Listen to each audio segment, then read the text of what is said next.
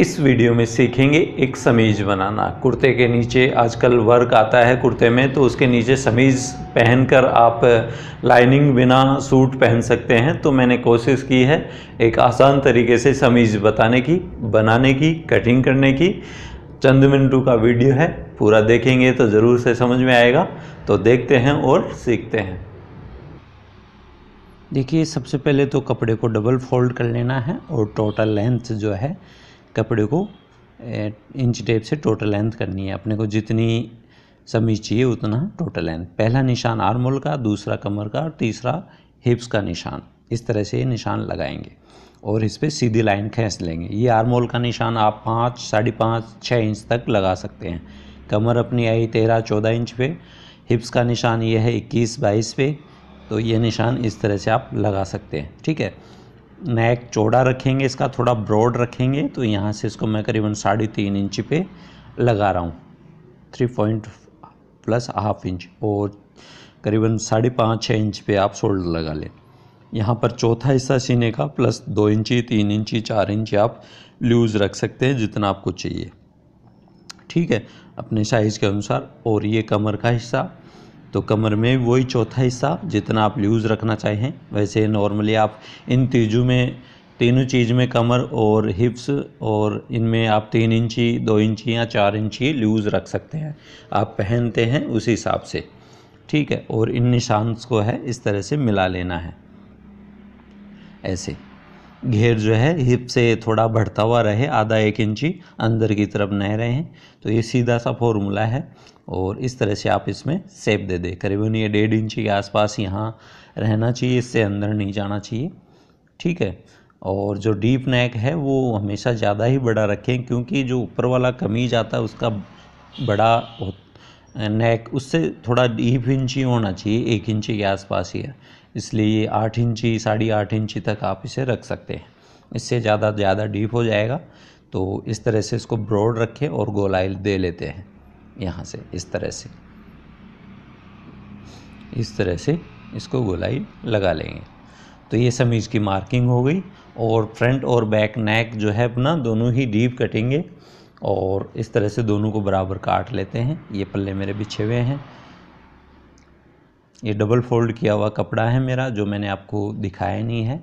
एक single side में थोड़ा कपड़ा निकल रहा है तो ये डबल है, जैसे फ्रंट और बैक दोनों पार्ट है।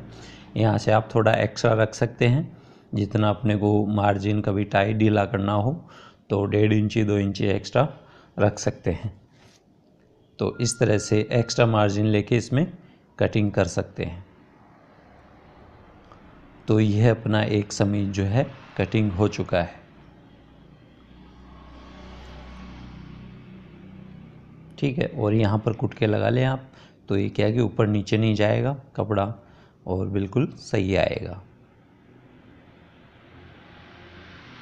ऐसे ही करके दूसरी तरफ़ इसके निशान लगा लेने हैं, जो कि अपना फ्रंट पार्ट है तो फिक्स मार्किंग पे सिलाई अपनी आ जाएगी, इस तरह से। और तो ये मार्किंग भी हो चुकी कटिंग भी हो चुका। अब इसकी जो है, सिलाई बाकी है, छोटा सा काम, वो भी कर लेते हैं। आसान है समीज बनाना। सबसे पहले इसके शोल्डर जो कंदी है, उसकी सिलाई लगाएँगे। दोनों कंधी लगा लेते हैं।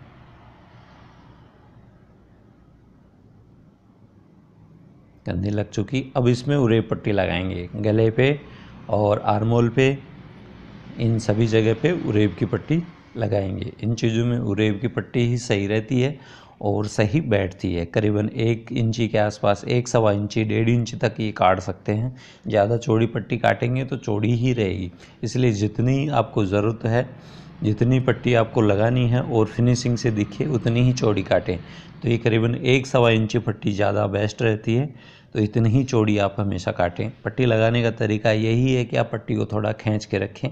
हल्का सा, ज़्यादा भी ना, और मामूली सा खींच के रखें, हाथ के इशारे से, नीचे वाले पल्ले को खींच के न रखें, उसको हल्का सा लूज रखें, और बराबर दबाव में, मशीन का जो बूट भर का दबाव है, फुट, उसके बराबर दोनों, दबाव लगा लगा दें।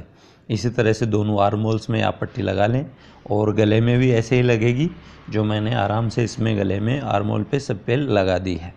अब इसको आप पक्का कर सकते हैं, अंदर की तरफ़। पक्का करने का तरीका यही है कि जितनी आपको एक सेंटीमीटर चौड़ी पट्टी लगानी है, उतना ही रखें, बाकी अंदर टोटल मार्जिन है अपना। उसको टोटल मार्जिन को अंदर कर देना है। इस तरह से। मार्जिन को पूरा अंदर कर देना है और बराबर सिलाई जो है, लगा सकते हैं समीज के अंदर। तो समीज बनाना बिल्कुल आसान तरीका है। इस तरह से पट्टी लग जाएगी, ये गले में भी लग जाएगी आरमोल में भी लग जाएगी, जो आराम से आप पक्का कर सकते हैं इसको। इस तरह से। छोटी सी चीज़ है, इसमें गले का ध्यान रखना आपको और आरमोल का ध्यान रखना है। बाकी काम वैसे ही होता है, जैसे सूट कटिंग करते हैं, उसी तरीके से तरीके से। तो इस तरह से मैंने इसको आरमोल भी पक्का कर दिया, गला भी पक्का कर दिया है। अब इसके फिटिंग का टांका लगा लेते हैं। फिटिंग का टांका आप समीज में तीन चार इंची लूज़ रखे ही चले हमेशा।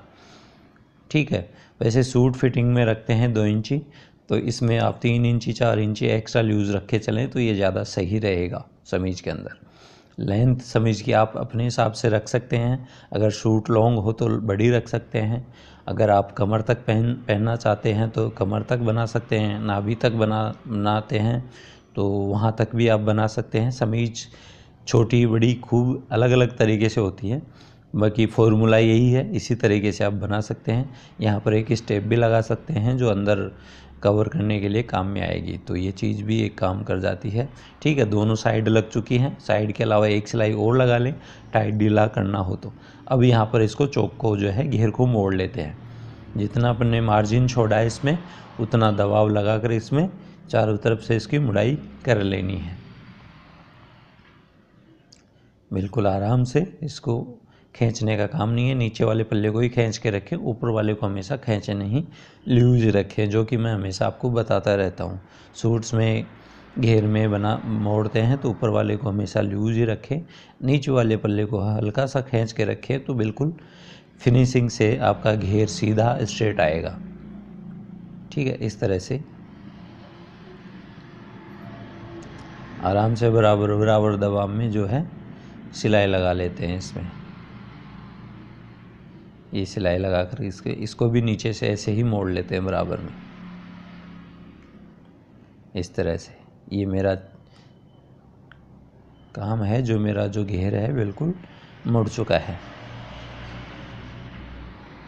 ठीक है, ये घेर मुड़ चुका है अपना, और एक समीज भी करीब करीब बन के तैयार है।